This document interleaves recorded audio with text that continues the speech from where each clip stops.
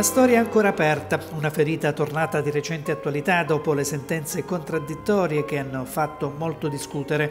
Lettera dal futuro è il cortometraggio che ha aperto il Festival Scrittura Immagine ideato e organizzato dall'associazione Ennio Flaiano. Sullo schermo quattro giovani attori pescaresi raccontano le giornate precedenti il terremoto del 6 aprile 2009. Quella notte morirono 309 persone, di cui 54 studenti universitari. La pellicola è stata realizzata dall'associazione Eternum di Pescara e dalla Onlus Avus 2009 composta da 12 genitori di ragazzi deceduti sotto le macerie in quella drammatica notte.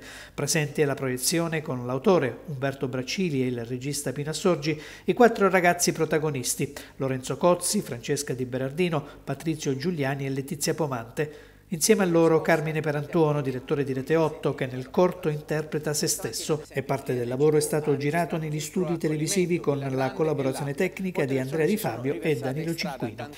Sentiamo ora Umberto Braccini.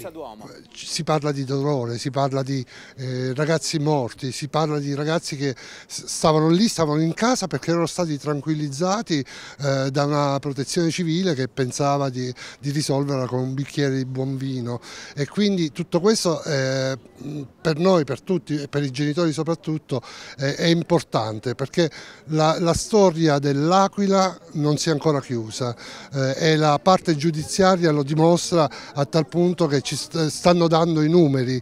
C'è chi è, per esempio Nicola Bianchi, figlio eh, del presidente Avus che è morto sotto le macerie, è stato ritenuto colpevole al 100% di non essere uscito, quando la protezione civile, la commissione grandi rischi invece diceva ragazzi state tranquilli, state, state a casa che questa è tutta energia che, si, che, si, che sfogherà diciamolo così, non è il termine tecnico.